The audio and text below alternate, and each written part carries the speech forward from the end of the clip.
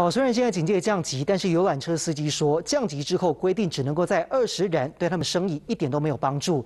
而指挥中心宣布开放潜水活动，但新北市不跟进，也让业者叫苦连天。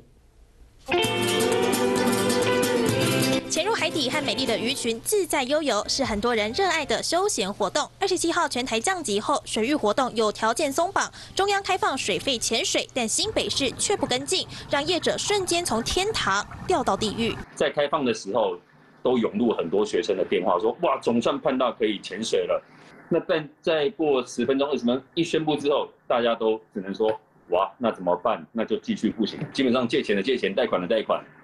只能花老本，没有老本就是借钱，所以真的是蛮惨的。同样出面喊苦的还有游览车业者，中央开放国内五十人以下的旅行团，但规定游览车只能坐二十个人，让业者直呼根本不会有人买单。大家也还是出不去，因为一台游览车是十个人，四十三座，但是要求客人。